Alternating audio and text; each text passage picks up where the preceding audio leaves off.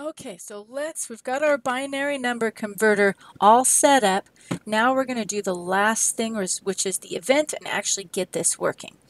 Okay, so I'm going to still be inside the constructor. So if I go over here, this bracket ends the class, this bracket ends main. That means this bracket right here is the one I'm looking for. This ends the constructor. And before the constructor is where I want to put my event. Event for a button. And you might have multiple events if you have multiple buttons. In this case, we just have one button, so we're going to have one event. The button happened to be called button to decimal. So I'm going to say button in to decimal. Wow, you can't see that with my cursor in the way, can you? Dot add action listener.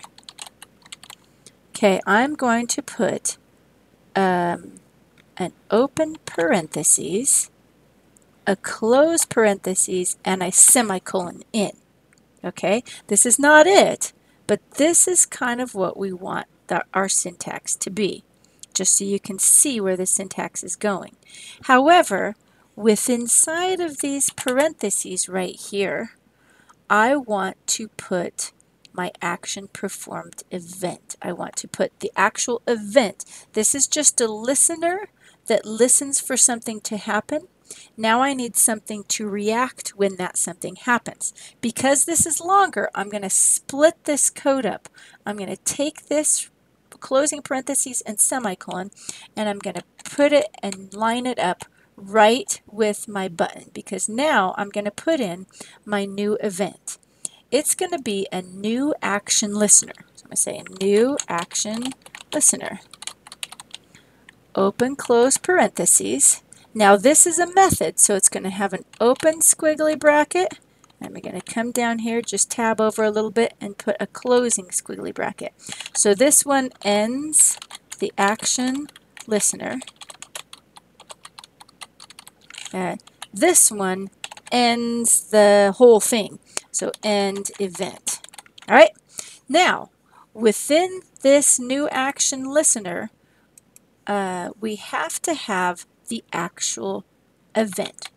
The, and it has to be called this exact same thing. If you misspell this, it's going to yell at you and say, hey, there's no action performed event.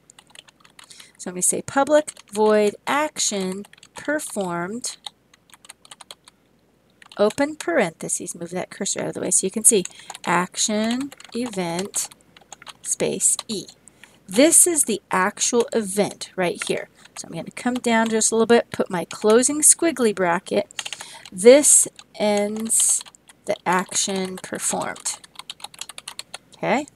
So now any code that you put in here will react to when they put press a button. So all of this right here is responsible for doing that. Okay, well, what do we want to happen? Let's just show you a couple of commands. If I wanted to display something into a label, I could say um, lbl decimal dot set text hello. Okay, let's just run this, show you what happens. So I'm going to run this program. Here it is. Here's my little converter. If I just press this button, it should say hello. Set text allows you to set the text of your label at runtime. Okay, we don't want to print that there. We want to print our binary number, but I wanted to show you that. I'm going to do a couple other things just to show you, and then we're going to do our binary number.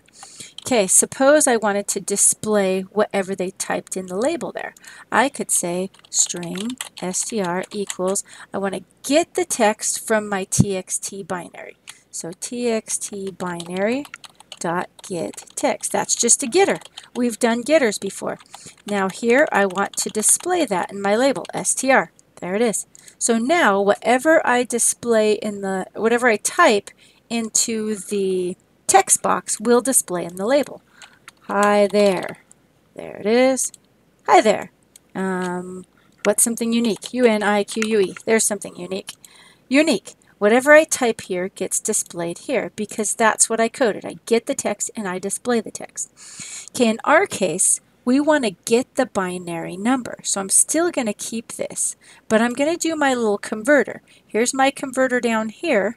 I'm going to grab this code, Control X that. You were wondering when I was going to go get rid of that, huh? Now I found it. And I'm going to paste that. So I want to get the text and then display the binary. I'm going to kind of just paste this in between there. Tab it over so it's nice and pretty. Okay, so I've declared a binary number. Then I want to set the binary number to the text that the user gave me. So right here, we're going to say str. There it is. Now instead of printing it out, I'm going to get rid of this print statement, and I'm just going to say my b dot to string.